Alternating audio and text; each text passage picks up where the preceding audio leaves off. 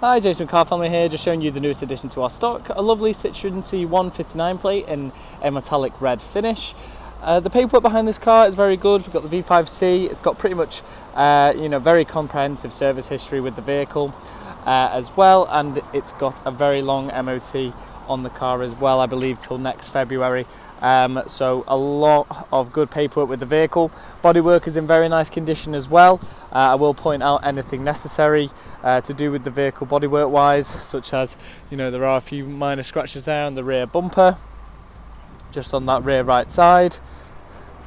As you can see, there seems to be a slight little imprint from where a bumper sticker used to be, uh, but that's very hard to see at this moment in time. But as you can see, in terms of the mileage and age of the vehicle, the bodywork's very good. A little speck there, just a bit of white paint on there. A few minor little scratches just there on that wheel arch.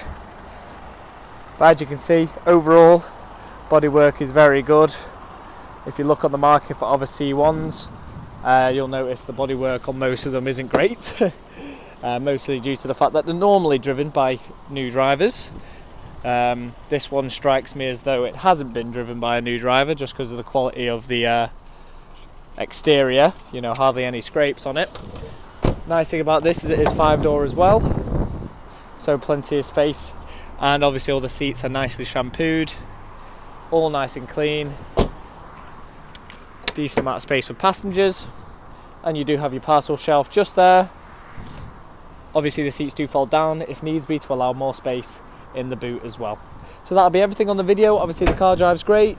Um, if there's anything else you'd like to see, do let us know. We look forward to getting back to you, and bye for now.